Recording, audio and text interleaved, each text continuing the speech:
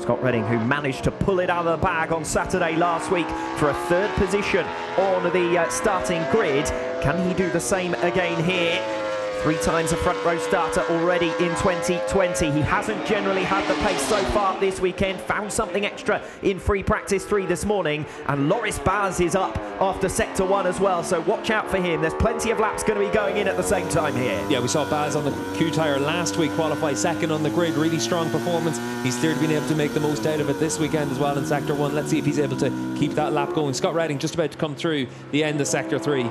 Three tenths of a second down so far on this lap. Scott Redding can he hold on to uh, move provisionally onto the front row of the grid? As things stand, he would slot in between Rea and Davies, and that would be a decent result. But there are several riders up and down the grid who are set to improve. Bautista, uh, the likes of Loris Baz as well. So uh, watch out for those. And then don't forget about Tom Sykes, who's going to go for a late Super Pole effort as ever. Here comes Scott Redding then on his way to the line. He goes second. It's a 149 flat. He's not quite able to dip into the 1 minute 48, but that's that's a strong final sector from Scott Redding to go P2. Riders around him all attempting to improve here. Bautista will be the next of the front runners coming towards the line. Baz as well is into the final sector. Michael Ruben Rinaldi and Michael van der Mark are up and running in the first two sectors of the lap. Here comes Bautista then, looking to move on to the front row. He deposes Chaz Davies and goes third. It's Rea Redding, Bautista as things stand. Loris Baz losing ground in the closing stages of the lap. He sits fifth. Yeah, really crucial for Davies that he is faster than Baz and Caricasulo. At least it gives him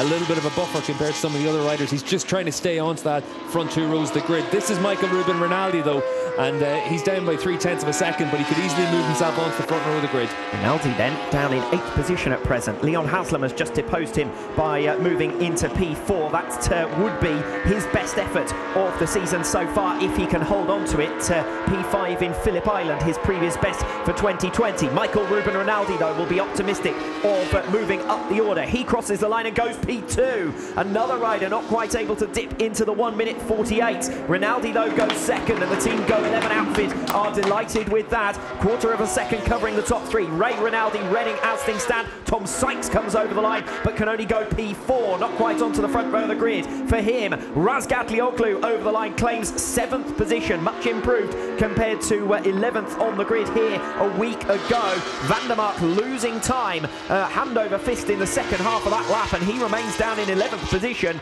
and looking vulnerable to the likes of Alex Lowes, who's up and running now on his hot lap, currently sitting down in 16th position. So this is going to be crucial for him. Yeah, for Van der Mark, looks like he made a mistake in sector three on his last lap and uh, that's what cost him the time. You can see Scott Redding, he's ran off the track there as well. But uh, for all the riders left out on track now, Van der Mark's trying to go for a second lap. We've seen that some riders haven't tried to do that. Chaz Davies looked like he was trying to do it, but lost that pace in the second half of his lap. The good thing for Van der Mark is he probably cruised for quite a long portion of his last lap, so he might have been able to just about retain enough tyre life to try and attack for a second lap. Leon Haslam making his way then back towards pit lane, currently sitting in sixth position, but the focus is on two riders who are now into the second half of their laps. Michael van der Mark, who is currently tracking in line to move on to the third row of the grid, and Alex Lowes, who desperately needs to make progress from 16th position. Lowes will be the first of them to make it towards the line, and uh, Alex Lowes, three quarters of a second down after sector three. He makes his way now into the final two turns. He's